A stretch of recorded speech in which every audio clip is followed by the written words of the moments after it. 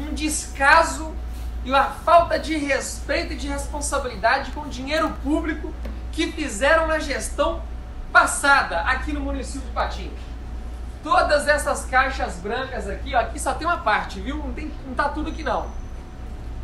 É de avental que foram adquiridos com dinheiro do Covid-19. Os aventais que estão sendo disponibilizados para a equipe técnica são aventais que atendem a exigência técnica sim.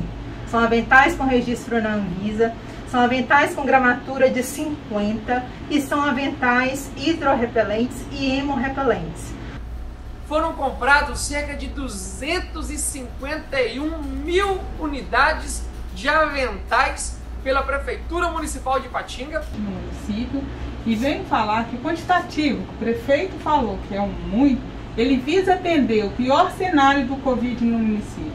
E olha só agora a bizarrice que fizeram.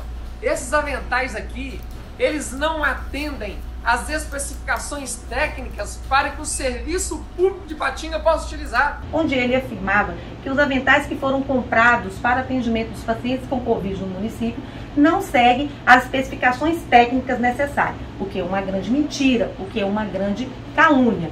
Eu estou aqui para fazer o meu repúdio com essa fala do prefeito. Ou seja, tá tudo aqui encostado e parado desde o ano passado, sem utilizar, porque não faz parte da especificação técnica necessária para que os nossos servidores possam fazer utilização. Os aventais adquiridos por meio de licitação pública é, em plataforma eletrônica, eles atendem aos, às normas exigidas pelo Conselho Federal de Enfermagem